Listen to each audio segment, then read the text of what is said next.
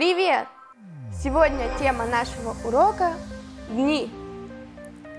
Понедельник, вторник, среда. Понедельник, вторник, среда, четверг, пятница, суббота, четверг, пятница, суббота, воскресенье, воскресенье. Сегодня, завтра, послезавтра, вчера, позавчера, сегодня, завтра, послезавтра, вчера, позавчера. Времена года. Зима, лето, весна, осень. Зима, лето, весна, осень.